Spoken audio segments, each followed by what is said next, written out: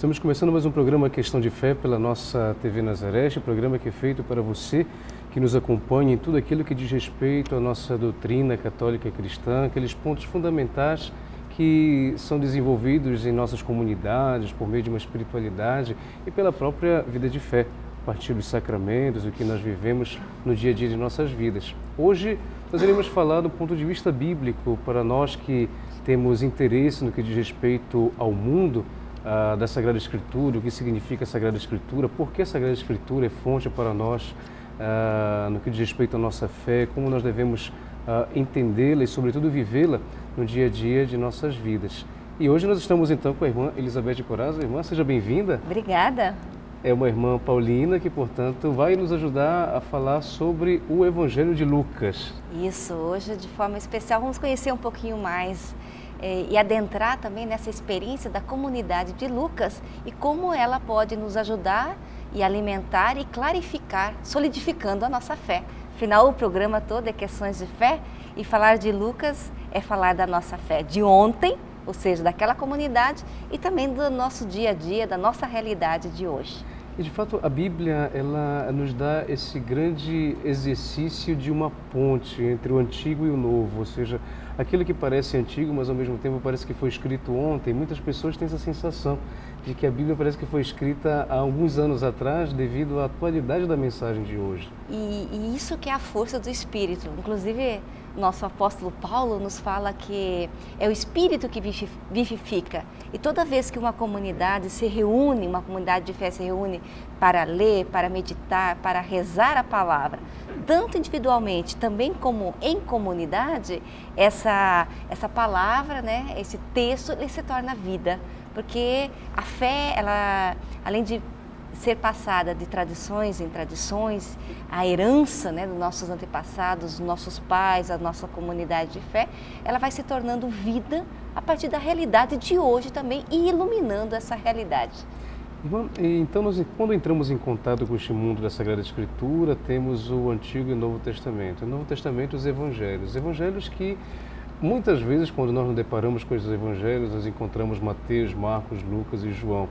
Mas, curiosamente, existem algumas é, informações que até mesmo nos chamam muita atenção, devido, por exemplo, à, à, ordem cronológica dos evangelhos. Muitas vezes nós pensamos que a ordem cronológica está ligada ao próprio, à própria ordem que nós encontramos, encontramos Mateus, hoje. Marcos, Lucas e João, quando, na verdade, como nós poderíamos falar da questão do contexto da formação dos evangelhos? Então eu vou passar um pouquinho além, antes, vamos dizer assim, a formação de todo o Novo Testamento. É, isso também é bonito de perceber, porque nós temos aí um período, vamos dizer assim, da morte, né, crucifixão e ressurreição de Jesus, a vivência da comunidade e aí os primeiros escritos. Né? Então nós temos um período, vamos dizer assim, de, de oral, foram transmitidos, tivemos alguns fragmentos para depois também termos os livros bíblicos do Novo Testamento que nós temos hoje. E na ordem cronológica, primeiro nós temos os escritos de Paulo. O primeiro escrito do Novo Testamento é a primeira carta aos Tessalonicenses, que foi escrito em torno do ano 50, 50, 51 datas sempre prováveis, né? Sempre são aproximativas, né? De fato, é, esse aqui é o, é o, interesse do estudo da, da, da Sagrada Escritura, nos mínimos detalhes, porque muitas vezes não tem um ano, mas um nome que aparece, ou uma situação que aparece já nos remete precisamente a um, a, um é, contexto, a gente tem que ter um presente que todo o, o Novo Testamento, ele foi escrito durante o Império Romano, então, realmente, é o imperador, é Pôncio Pilatos, né? São outros elementos, mesmo a própria questão das moedas, né? É, isso tudo nos ajuda a nos localizarmos nos períodos aí. Mas, falando do, dos, propriamente dos evangelhos, o, o, primeiro evangelho a ser escrito é Marcos, né? que foi no, no entorno do ano 65. Os outros evangelhos, tanto Lucas como Mateus e João, foram escritos após né, após um grande marco na história da fé, tanto para o povo judeu como para o povo cristão, que é o ano 70. O ano 70, o que, que acontece? Acontece a destruição da cidade de Jerusalém e, com isso, o, o templo, a dispersão da comunidade judaica e a comunidade cristã. Né? E aí, nessa situação, nesse contexto, surgem os outros evangelhos. Então, falando propriamente de Lucas, eh, foi escrito no ano em torno do ano 80, 90, paralelamente ao Evangelho de Mateus. Foram os dois evangelhos escritos praticamente no mesmo período. Já o Evangelho de João é mais tardio, em torno do ano 90. Então, nós temos aí todo um contexto do Império Romano, um povo bastante oprimido, massacrado, é, muitos impostos, né? E com isso também, uh, um povo também buscando, a, a comunidade cristã, buscando a sua identidade. Se uma vez não existia mais templo, existiam as sinagogas, e com o, o, o, povo judeu também se reorganizou e não, não quer mais e não aceita mais os, aqueles que professam que Jesus é o Cristo participar da sinagoga, eles também têm que buscar um jeito de procurar e se formar e firmar a sua fé no Cristo morto, crucificado e ressuscitado. Esse Cristo é o Messias, é o ungido, é o Filho de Deus. E nessa experiência, então, nós temos as chamadas comunidades domésticas onde começam a se formar então as pequenas comunidades nas famílias. Perfeito. Significa então que eh, os evangelhos eles nascem com um objetivo a partir do contexto em que se, se encontram, contexto de dispersão, depois o contexto de uh, naquele ano 70 de fato essa, essa grande calamidade muitas vezes dos impostos, isso tem um grande impacto até mesmo social e tendo impacto social uh, automaticamente se reflete na, na, na, no aspecto religioso também. Muitas vezes se considera, quem sabe, castigo de Deus, como muitas vezes, né? Uhum. E quem sabe a mensagem de Jesus então entra nesse contexto? Entra. Porque a, todos os textos bíblicos, né, o, falando propriamente dos evangelhos, eles têm o quê? O objetivo deles é que é catequético. Né? É formar na fé, é formar, é conhecer quem é esse Jesus. Né? Afinal, esse que caminhou conosco lá na Galileia, né, na Judéia, e, e foi morto numa cruz, que para o povo judeu isso era um escândalo. Não se podia um, um Messias ser crucificado, e muito menos um Messias é, caminhar conosco. Né? Então, essa dimensão humana e divina, que depois os padres também da igreja vão nos ajudar a compreender que é, é, é esse verdadeiramente humano e verdadeiramente Deus, né, na pessoa de Jesus, né, é um processo que vai sendo construído. Né? Não é uma hora para outra. Hoje a gente recebe os textos prontos, nós temos uma caminhada, nós temos toda a dimensão da, da história é, teológica, pastoral, que vai nos ajudando a vivenciar a nossa fé. Mas imagina aqueles que os fatos estavam acontecendo quase que né, contemporaneamente lá com, com os próprios situações e tudo mais, né? Então, isso tudo foi influenciando e os textos foram ajudando o quê? A clarificar a fé, ajudá-los a conhecer quem é Jesus, a vivenciar também essa nova fé em Jesus, relendo, aí sim, os textos do Primeiro Testamento, do Antigo Testamento e nos ajudando a entender que aquele Messias prometido pelos profetas, anunciado como pobre pelo profeta Isaías, é esse aí, o Jesus de Nazaré. E diante do conteúdo da, da, da, dos escritos dos evangelhos, ou seja, nós percebemos então, por exemplo, a particularidade de cada evangelho. Sim. Nós temos o que nós chamamos de evangelhos sinóticos, que é, colocados é, sincronicamente, são quase na mesma disposição né, de, de, de, de, mensagem de Jesus, nós encontramos, e João, que é um evangelho, né, justamente uma particularidade. Agora, como nós poderíamos falar do contexto de cada evangelho, do ponto de vista de conteúdo, de uma maneira para podermos contextualizar o evangelho de Lucas, que é aquele que nós queremos isso. falar hoje? Então, é, isso que é bonito. Todo o processo da palavra né, da experiência de Jesus e essa experiência revelada na pessoa de Jesus, né, ela, ela vai se dando como? A partir de situações, de fatos concretos, realidades concretas.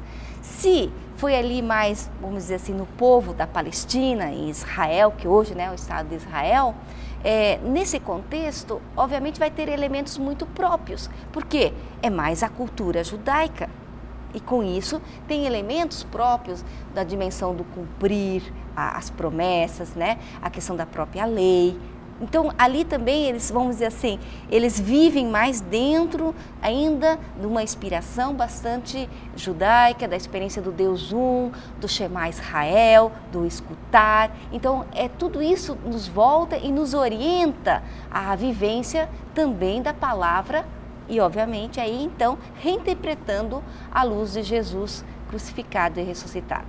Agora, uma vivência na diáspora, ou seja, na dispersão, tem outros elementos.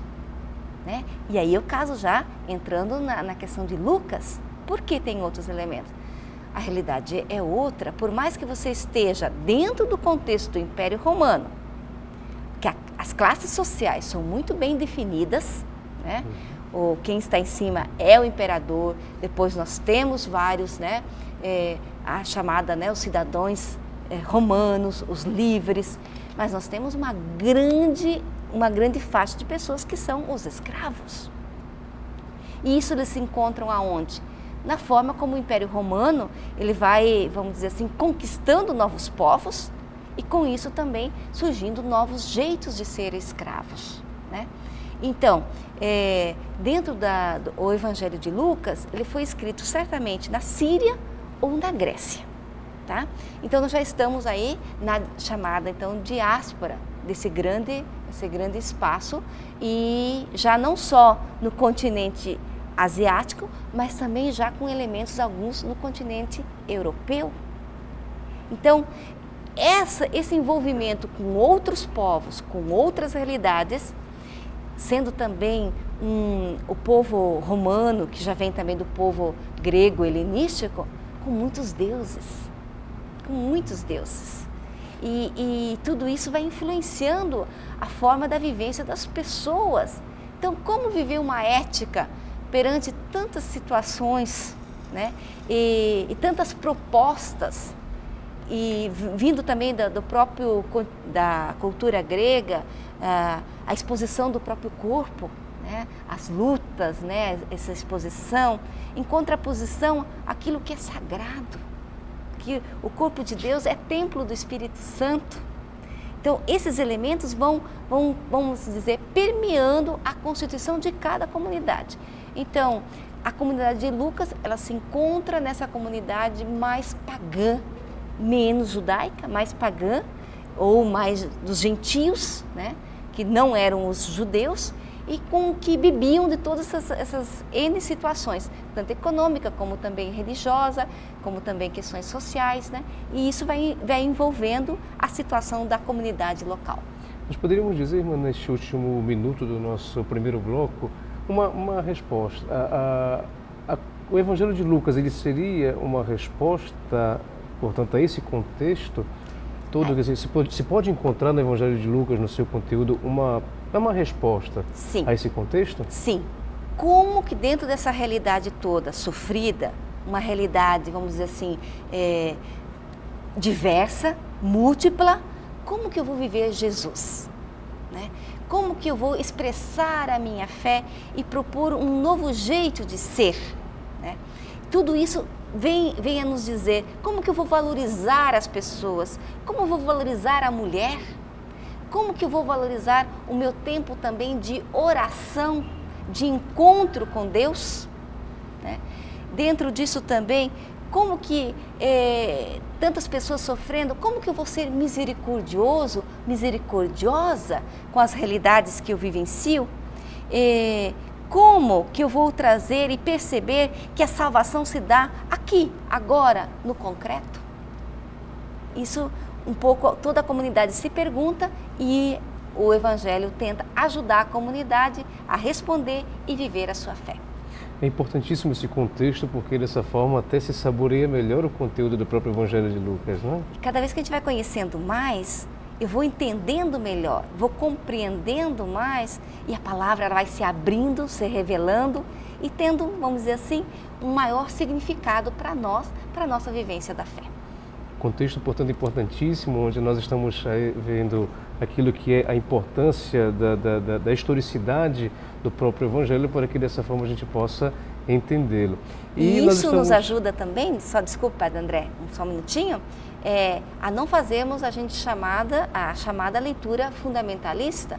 Eu compreendo, eu tenho os elementos e me ajuda a interpretar e compreender a palavra no dia de hoje. E já não teremos oportunidade né, de poder aprofundar no segundo bloco, onde nós então falaremos sobre. Estamos falando sobre o Evangelho uh, de Lucas, falamos do contexto histórico no qual, portanto, percebemos o Evangelho de Lucas já como uma resposta à, à cultura da, da época provavelmente neste, eh, nesta dispersão do ano 70, na, que provocou, de fato, no Evangelho uma afirmação sempre mais uh, convincente daquilo que a própria mensagem de Jesus e como nós deveríamos receber esta mensagem de Jesus a partir da vivência concreta do dia a dia. Voltaremos logo mais com o nosso programa Questão de Fé.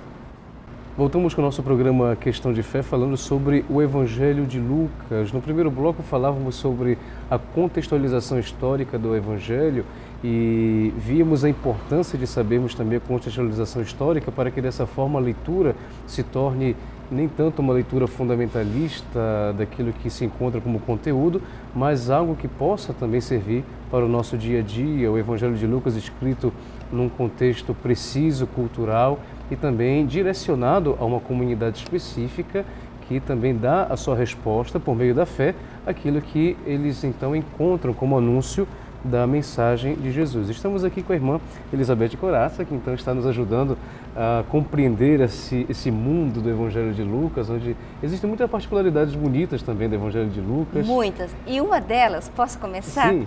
É, aliás, quem está nos acompanhando e, e convide seus amigos e amigas, depois releiam e leiam o Evangelho de Lucas. Mas logo no começo, no chamado prólogo, que é uma, uma introdução do Evangelho, ele nos diz que esse Evangelho é dedicado ao ilustre Teófilo.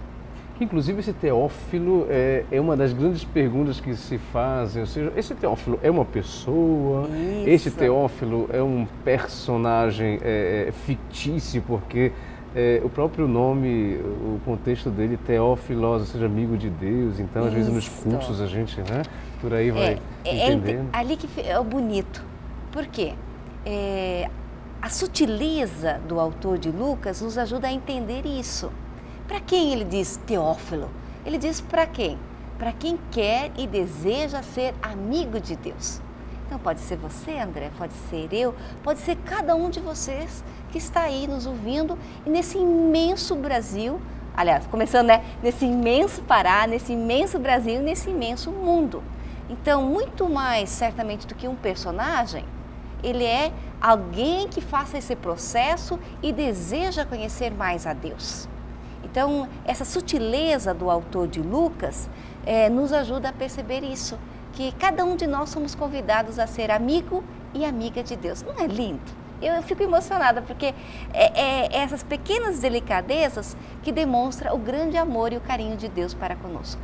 Daí nós percebemos, inclusive, a importância de a, nos atentarmos a cada detalhe, sobretudo cada palavra dos evangelhos, né? sobretudo quando nós vamos estudar Mateus, Marcos, Lucas e João, por meio uh, da estrutura das palavras, da estrutura das mensagens de Jesus, como elas são estruturadas, nós entendemos então até mesmo qual é o objetivo do autor no que diz respeito ao modo como ele quer passar a imagem de Jesus Cristo, a sua mensagem. Né? Se nós pegarmos o Evangelho de Marcos, a gente vai ver que ele tem dois grandes blocos: quem é Jesus e quem é o discípulo. Se nós pegarmos o Evangelho de Mateus, vamos ver que ele está definido nos seus grandes cinco discursos. E se nós pegarmos o Evangelho de Lucas, como que ele é definido? Como uma grande viagem de Jesus a Jerusalém. Ou seja, quem quer ser discípulo e missionário, siga Jesus, passe por Jerusalém, ou seja, passe pela cruz, não fuja da cruz, mas não pare na cruz, ressuscite e seja um missionário. E para quem está em casa, isso é uma particularidade que eu acho que muitos ainda não conseguem é, perceber, ou seja, que a estrutura do Evangelho de Lucas é essa viagem, se a gente for perceber. E, e né? se for vermos, nós temos um primeiro momento, é, é, logo falando de, um, de dois grandes personagens. Primeiro falando de João Batista. E, e é interessante aí porque Começa falando de João Batista e fala do seu pai, Zacarias. Onde ele está? No templo. Peraí, mas não tem mais o templo. O evangelho já foi escrito e já não, já não tinha mais o templo. Isso que é o bonito. Quer dizer, as coisas já aconteceram, eles estão vivendo outras situações, porém, o que, que faz a, a, o, o, autor bíblico? Volta aos acontecimentos volta aos acontecimentos e escreve como se estivesse é, sendo o real hoje. Né? E isso faz então voltar à memória. E, e, e questões de fé é isso. A fé requer sempre fazer memória, eu faço memória viva, com a própria Eucaristia, eu vou viver essa memória e vou vivenciar isso, e isso me vai, vai me fazer, então, com a força do Espírito, vivenciar. Então, começa o Evangelho com Zacarias no templo, né? Então, esse estar no templo servindo o Senhor remonta também todo o Primeiro Testamento. Ah, o Senhor que cumpre, que tem uma promessa a ser cumprida ao Messias que vem. E João Batista vai ser quem? Aquele que vai preparar os caminhos do Senhor. E lá no final de lá em Lucas 24, nós temos novamente os discípulos de Maús que estão fugindo, né? mas voltam para Jerusalém e em Jerusalém, então eles recebem o mandato de ir a, a além fronteira. Só que, falando da obra lucana, nós temos um detalhe. O Evangelho de Lucas, no primeiro momento, era junto com Atos dos Apóstolos. Então é uma única obra que foi mais tarde dividida em dois grandes livros. Então o Evangelho de Lucas, ele acaba em Jerusalém, né? Vamos dizer assim, a capital aí da fé, Porém, nós temos que olhar junto com a obra uh, de Atos dos Apóstolos, que por sua vez, Paulo, ele, tem, ele deseja chegar até os confins do, do mundo, mas, mas indo aonde? Na capital do Império Romano, que é Roma. E é interessante, então, esse grande caminho, esse grande trajeto que a palavra de Deus vai nos ajudando a percorrer. E nesse, nessa estrutura de caminho que nós encontramos no Evangelho de Lucas, começa com Zacarias no templo, e uma das grandes particularidades que nós percebemos no Evangelho de Lucas é justamente aquele que nos dá mais detalhes sobre, por exemplo, a Anunciação Isso. de Nossa Senhora. Onde é que nós poderíamos contextualizar também essa Anunciação, esses detalhes da, da, da, dos primeiros momentos de Jesus, ou seja, desde a encarnação até o nascimento, para que possa se desenvolver no decorrer do Evangelho? é, é, nessa, nessa importância da comunidade reconhecer, na comunidade de Lucas, é, reconhecer que Jesus nasce, nasce de uma mulher, né? nasce sob a ação do Espírito.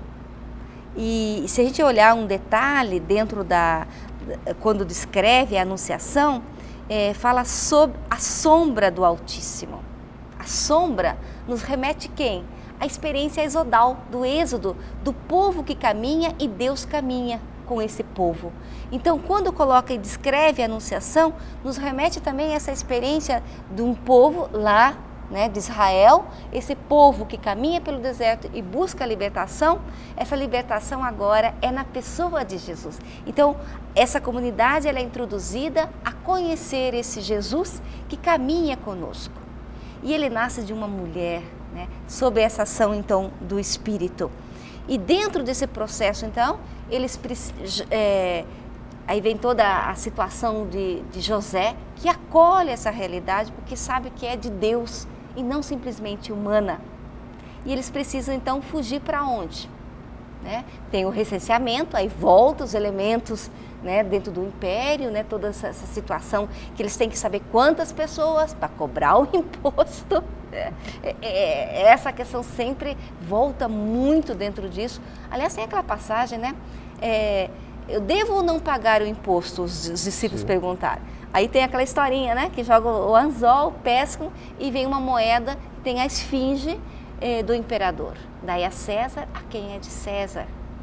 Então essas questões aí estão muito, muito impregnadas na vida deles. Eles precisam também ter essa, essas orientações práticas. Então dentro desse caminho, dentro desse caminho, é, acho que um elemento importante antes do, do, do, nascimento é a visita de Maria a Isabel. É. Maria jovem, Isabel uma pessoa já idosa. Ao abraçar, né, ao, dar esse abraço Isabel reconhece que nela, em Maria, se encontra o Salvador. E aí eles, é, essa, é, vamos dizer, essa exaltação e com a linda, com esse lindo poema que é o Magnífica, que é que todos nós somos convidados a rezar e perceber que Deus exalta, Deus acolhe, em Deus é bendito, né? Porque Ele cumpriu, Ele cumilou de bens os famintos, é, Ele deseja que a misericórdia passe de geração em geração. Então toda a ação de Deus com elementos né, do, da, do Antigo Testamento, né, com frases que nos ajudam a entender e compreender a ação de Deus. O, o, Evangelho ele nasce dentro de um contexto, como nós vimos na, na, na, primeira parte do nosso programa, nasce dentro de um contexto histórico, cultural e, portanto, uh, ele tem uma comunidade e tendo uma comunidade ele tem um público. Isso. É, nós então podemos entender que cada Evangelho nasce dentro de uma comunidade com um determinado público. Uh, o que poderíamos dizer sobre os destinatários do Evangelho de Lucas? É interessante que o, o, os destinatários de Lucas são bem especiais, porque a maioria não eram de origem judaica. Porque se eles fossem de origem judaica, eles já, já conheciam o Antigo Testamento, ou o Primeiro Testamento, as, as escrituras hebraicas, e eles não conheciam, porque eles provinham do, do paganismo, muitos tinham seus, seus deuses, né? o, a, suas, a sua forma de expressão do sagrado, mas eles não tinham o conhecimento da Torá, da lei, dos mandamentos. Né? Então, o que, que faz Lucas? Ele, ele não se prende muito a termos judaicos. Se a gente olhar o Evangelho de Mateus, cada pouco vem. E se cumpriu, né? e se cumpriu. Isso é uma expressão muito judaica. Não se coloca isso. Fala da lei, sim, o cumprimento da lei, da nova aliança, mas não com essa ênfase toda como outro evangelho. Por quê? Porque eles precisavam era conhecer quem é Jesus. Então, e para conhecer quem é Jesus, porque eles não tinham os elementos já, vamos dizer assim, é, como os outros, quem era, que vinham da, de origem judaica, então eles precisavam o quê? Saber onde nasceu, como nasceu, como se deu essa experiência, né? Quem é esse Jesus? E essa experiência de ser também os próprios títulos cristológicos que a gente chama, ou seja, os vários nomes que a gente dá para Jesus e que aparecem no, no Evangelho de, de, Lucas, vai exprimindo isso também e ajudando a, a compreender quem é esse Jesus. Então, por isso, vai, vamos dizer assim, contando bem a historinha, como se a gente fosse uma criança que está aprendendo os primeiros passos na fé. Assim, é, é no Evangelho de Lucas, vai colocando parte por parte. Então, vai colocando é, quem é Isabel, né, quem é Zacarias, para dizer que João Batista preparou os caminhos, foi batizado, Jesus que se deixa batizar. E aí vem como se dá essa anunciação e vai fazendo esse processo para essas pessoas para conhecerem quem é Jesus. Aliás, quem é esse Salvador? Por que, que ele é, se torna o nosso Salvador? E, e essa ênfase também que, que é na história, na história deles. Não é porque antes eles seguiam outros deuses, né, ou não seguiam ninguém, é porque eles não são acolhidos por Deus. Eles não precisam se tornar primeiro judeus para depois serem cristãos. Eles, no batismo, eles já são imersos né, nessa, na fé e nessa fé de Abraão, nessa fé que é dos antepassados também. Então eles vão fazendo esse caminho de forma muito progressiva e com muita delicadeza, com muita misericórdia. Nós percebemos que o Evangelho de Lucas nasce dentro de, uma, de um contexto histórico, com um público gentil, pagão, que não conhecia de fato as Escrituras, e se percebe isso na própria, na própria estrutura uh, do texto do Evangelho de Lucas. Isso nos remete a uma espécie de catequese Catequese Isso. que, portanto, nós podemos entender no Evangelho, no, no, Evangelho de Lucas e que nós, então, falaremos no terceiro bloco do nosso programa Questão de Fé, falando sobre o Evangelho de Lucas. Falávamos do contexto histórico em que ele se encontra, depois o, os destinatários uh, do Evangelho, como ele nasce, a posição uh, de cada personagem e o sentido dos personagens para que dessa forma se possa apresentar uma imagem realmente de Jesus para que dessa forma então aqueles destinatários possam conhecê-lo na sua origem e naquilo que ele também pode ser como objeto de fé daquela comunidade. Voltaremos logo mais com o nosso programa Questão de Fé. Voltamos com o nosso programa Questão de Fé, falando sobre o Evangelho de Lucas, um tema interessantíssimo para todos nós, pelo próprio fato de que nós nos deparamos com os Evangelhos, nós lemos os Evangelhos quando vamos à missa, nós também lemos os Evangelhos em casa, com as nossas Bíblias, e percebemos uh, o mundo e o contexto em que o, a Bíblia de fato tem como uma grande riqueza para o entendimento até mesmo dos acontecimentos e daquilo que nós vivemos hoje, o nosso ponto de vista da fé.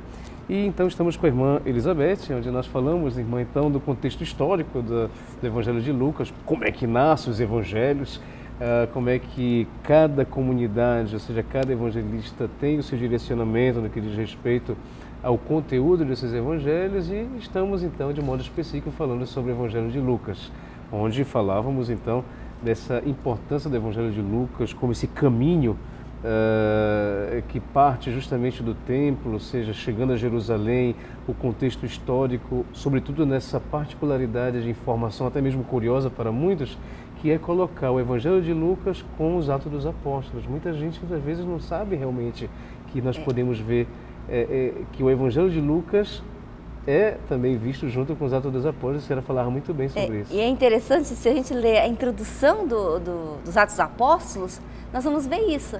Como falei já numa, na minha primeira obra, ó querido Teófilo.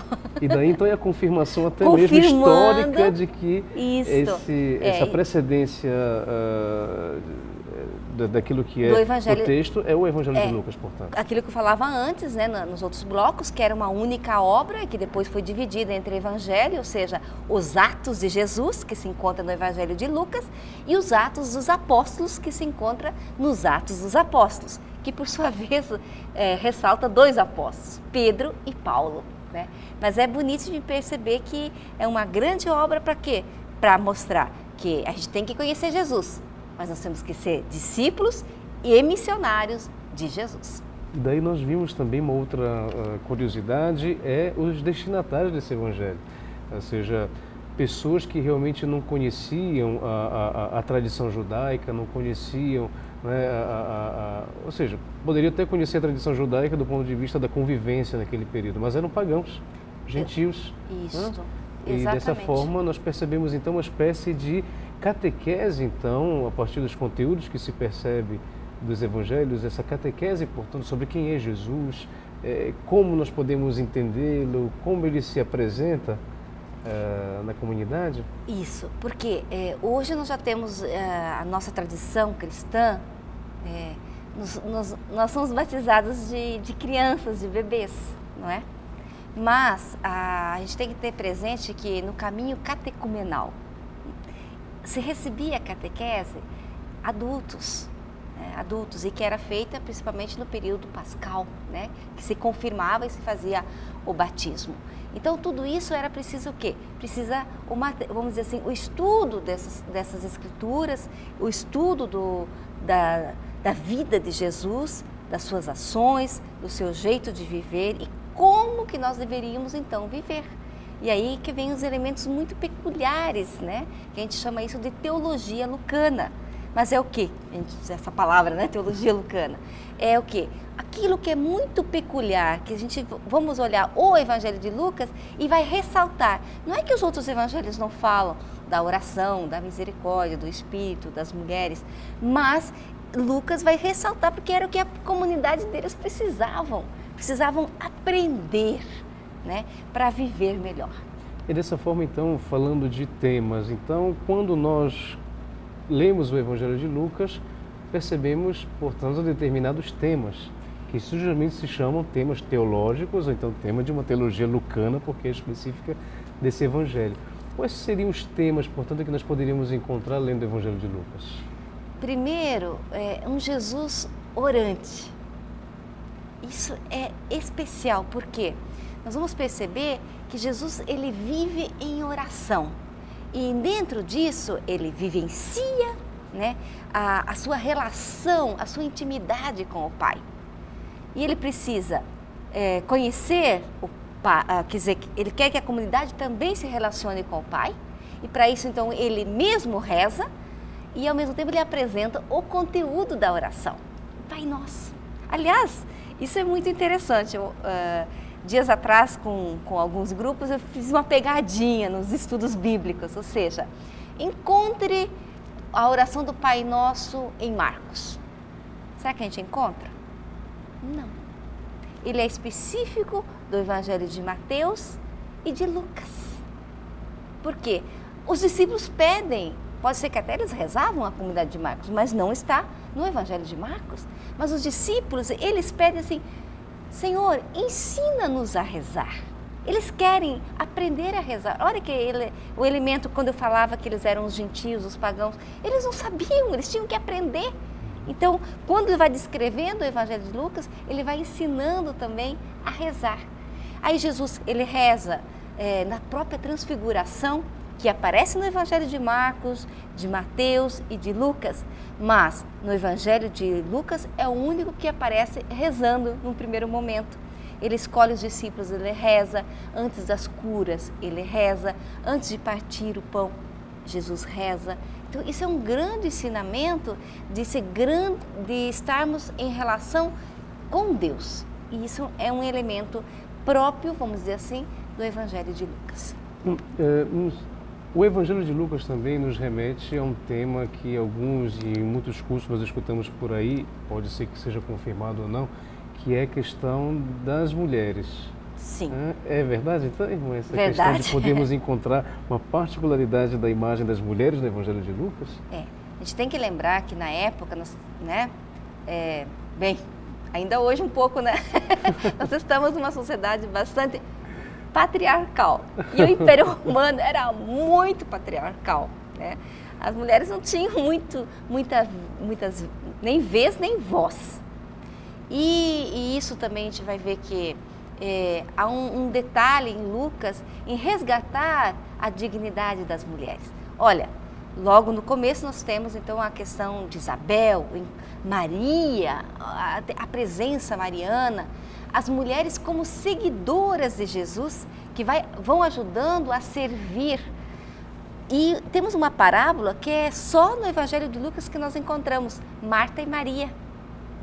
E aí nos fala que Marta reclama, né, porque tinha muito trabalho. Né? E normalmente a gente diz assim, ah, então ela tinha muita coisa para fazer em casa. Na palavra no, no grego é diaconia, né? Diaconia é serviço, mas não é serviço de varrer aqui o, o chão, a casa. É o servir a comunidade. Então, aí nós vemos as diaconisas, né? A, a, quem estava a serviço na comunidade. E depois, obviamente, na, na ressurreição de Jesus, ah, nós temos aqui então a presença das mulheres, que são as primeiras a ir até o túmulo e perceber que Jesus não estava aí e ele ressuscitou.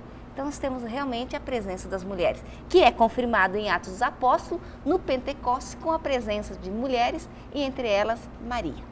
Se nós vimos então o Evangelho de Lucas com os Atos dos Apóstolos, os Atos dos Apóstolos nos dá a grande descrição do Pentecostes, do Espírito Santo. Isso nós podemos encontrar também como particularidade no Evangelho de Lucas? Sim, porque vai, vai é, Jesus é que tem a sua, no final, né, a ascensão, e ele promete, né, vão e anunciem, e promete a, a, a presença do Espírito. Aliás, é outro elemento, né, muito próprio de Lucas, é a ação e a presença do Espírito, que vai guiando os passos de Jesus e vai guiando os passos também dos novos discípulos e discípulas. E, e esse momento da confirmação que os apóstolos estavam com medo, estavam sem, sem Jesus presente, a, aquela situação toda que não queriam enfrentar a realidade, né? É, com aqueles medos que, que a gente vivencia, imagina os primeiros cristãos, né? Então, essa confirmação da ação do Espírito nos traz essa vida nova, essa força né? E isso para nós é importante, porque às vezes a gente fala do, do, Espírito Santo, a ação do Espírito, a gente logo lembra assim, ah, vamos fazer, eh, vamos dizer assim, vamos louvar o Senhor, vamos... Claro que a gente tem que louvar, agradecer ao Senhor, mas é, é a ação do Espírito para quê? para nos comprometer com o outro, nos comprometer com aquele que mais precisa. Essa é a verdadeira ação do Espírito. E já que nós encontramos no Evangelho de Lucas também uma catequese a uma comunidade, ou seja, ao mesmo tempo que a disposição do conteúdo uh, servia para uma possível catequese, uh, como você mesmo falava, a questão dos catecúmenos, então preparação para é, nos remete, portanto, a um tipo de comportamento que é regulado por uma ética. É, nós poderíamos encontrar no Evangelho de Lucas uma particularidade no que diz respeito ao modo como nós nos comportamos ou devemos nos comportar, até porque, como você mesmo colocava, num contexto romano, onde e sobretudo pagão, onde uhum. você não uhum. entendia realmente aquilo que talvez seria valor valor uh, da dignidade ou, ou, vingança ou então um culto que se fazia fazendo sacrifícios onde não se entendia muito talvez essa questão de como entender um verdadeiro comportamento portanto existe no Evangelho existe, de Lucas isso e muito bem uhum. colocado porque como o senhor colocou a ética é o quê é o agir é como eu me coloco para vivenciar e, e me comportar com o outro. Eu, obviamente, primeiramente, comigo mesmo. Então, dentro dessa caminhada da vivência cristã, é, é, nossa fé ela tem que se expressar com gestos e aí vem a dimensão ética. Se eu tenho uma adesão, né, a fé cristã ela sempre requer, ela é gratuita, ela é um chamado de Deus, mas ela requer de nós também um passo, uma adesão. E dentro dessa adesão, eu tenho que demonstrar com, com gestos concretos. E aí então vem a ética lucana, que pode ser demonstrado de forma muito especial na parábola do bom samaritano. Olha, já está aqui, bom samaritano. Ou seja, não basta eu conhecer eh, as escrituras, ser um sacerdote, né? Ou um levita, que era aquele conhecedor das leis eu tenho que agir, eu tenho que ver que aquele meu irmão que caiu, que está aí caído no chão, ele precisa da minha ajuda, ele precisa da, da, do meu abraço, ele precisa que eu o transporte na, no animal, como faz o bom samaritano, né? É, transporte e leve para ser curado. Isso é ética, aquele que mais precisa. A viúva, quem eram as viúvas? as exploradas. Né? Quem cuidava das viúvas? Né? Elas estavam ao Deus dará. Na ética lucana nos mostra, vamos ajudá-las, vamos integrá-las na comunidade. Né? Elas são pessoas que precisam da nossa contribuição, da nossa compaixão e da nossa oração. nesses últimos minutos do nosso programa, irmã, com certeza podemos encontrar no Evangelho de Lucas também um aspecto missionário. Atos de Jesus, Atos dos Apóstolos, então significa que eh, nos Atos dos Apóstolos nós encontramos os primeiros passos de uma igreja que eh, se abria com Pentecostes para os outros povos. Podemos falar então do Evangelho de Lucas também nesse aspecto missionário? Sim, tanto que, a, a, vamos dizer assim, o último episódio, no capítulo 24 de Lucas, são os discípulos de Emaús. São dois discípulos, Pedro e o outro que não tem nome, que é uma delicadeza também do autor de Lucas, né, de dizer assim, é, quem será esse outro? Que eh, após a morte, eh, crucifixão de Jesus, eles saem tristes porque eles não, não, não estão vendo aí ninguém para que, vamos dizer assim, eh, mais motivos de permanecer. Então, o próprio Jesus eh, se aproxima, caminha com eles, eles não reconhecem Jesus, eles estão fechados em si, não conseguem reconhecer o próprio Cristo. E dentro desse processo, eh, eles ficam assim temerosos, Jesus conta, retoma as escrituras e fala que isso deveria acontecer, porém, depois de três dias ele ia ressuscitar.